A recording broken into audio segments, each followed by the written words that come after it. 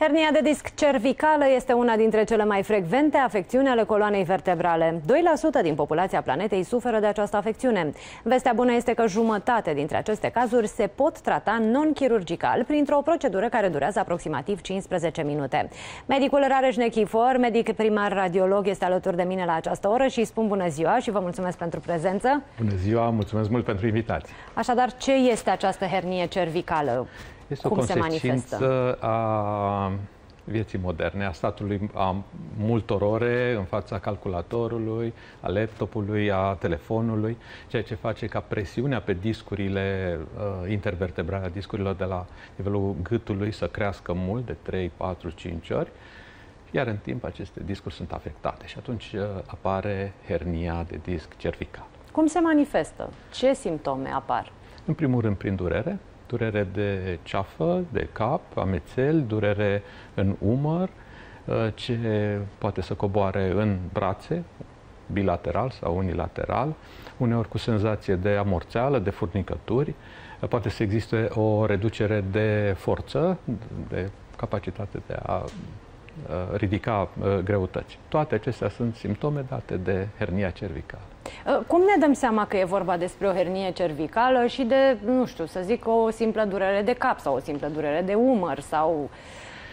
Uh, sigur, uh, uh, diagnosticul clar îl pune un examen remene. Un remene de coloană cervicală ne arată imediat uh, uh, diferența, situația anatomică și putem diferenția o suferință a umărului, o suferință a articulației mari sau a nervilor periferici. Uh, Uh, sigur, în prezența unor simptome ce se repetă, ce se mențin, ce nu vor să treacă, o vizită la medic este necesară. Uh, spuneam că odată diagnosticată, această hernie cervicală uh, se poate trata, sau multe dintre ele se pot trata printr-o intervenție uh, non-invazivă, da? nu chirurgical. Da. Despre ce e vorba? Uh, se numește discectomie percutană. Este o procedură ce pentru pacient înseamnă o injecție, o înțepătură, este o puncție, uh, dar nu este o infiltrație. Deci nu punem un antiinflamator acolo undeva lângă rădăcinile nervoase care să acționeze un timp și după aceea. Uh, conducem un ac fin până în discul afectat, iar în disc injectăm un gel Uh, ce, o substanță special făcută ce vulcanizează, așa între ghilimele, discul, îi întărește peretele și îi reduce volum.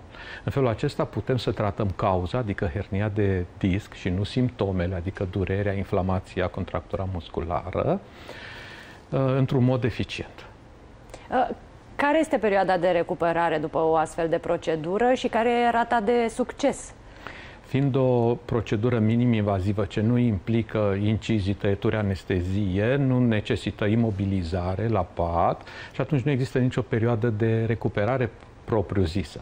Pacientul înregistrează o ameliorare a simptomelor începând din prima săptămână, cam după 5-7 zile de la intervenție, începe să se simtă mai bine, iar lucrurile evoluează, cam în două luni de zile avem un rezultat complet al uh, uh terapiei.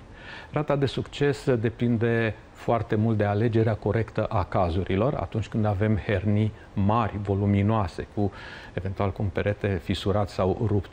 Intervenția nu este indicată, ci intervenția chirurgicală este prima alegere, însă în mare majoritatea cazurilor, așa cum ați spus, în peste 50% din cazuri, protruziile și herniile moderate de disc se pot trata eficient prin discectomia uh, uh, percutană. Rata per total de succes este undeva la 80% din cazuri. Vorbeam despre hernia cervicală, dar uh, la nivelul coloanei uh, putem să vorbim de mai multe tipuri de hernie de, hernie de disc, da? Putem să avem mai multe hernii în același timp? Putem să avem uh, mai multe tipuri, mai multe grade de hernie. Primul grad este protruzia, când discul este un pic deformat, apoi avem hernii de diferite grade, ajungând să avem o hernie ruptă cu fragment în canal. Deci avem diferite grade și simultan putem să avem mai multe discuri afectate, nu unul singur singur. Uh, sunt pacienți cu două, cu trei, poate chiar cu cinci discuri afectate, ceea ce complică mult uh, uh, situația, mai ales că intervenția chirurgicală, atunci când este indicată, ar trebui făcută doar acolo unde hernia este maximă, unde suferința este maximă. Una este ca un pacient să fie operat la un nivel și alta este la 2, la 3, la 4 nivel. Ce consecințe poate să aibă asupra sănătății o boală, o astfel de boală netratată la timp? Sunt serioase. Pe de o parte, cele anatomice, adică o compresie pe rădăcinile nervoase, poate să conducă la o afectare a acestor filamente nervoase permanentă. Adică pacientul să nu mai a, miște bine mâna, să nu mai simtă, să fie anesteziată, să nu-și mai poată folosi uh, uh, corect mâna. Acesta este un aspect, cel anatomic, cel neurologic.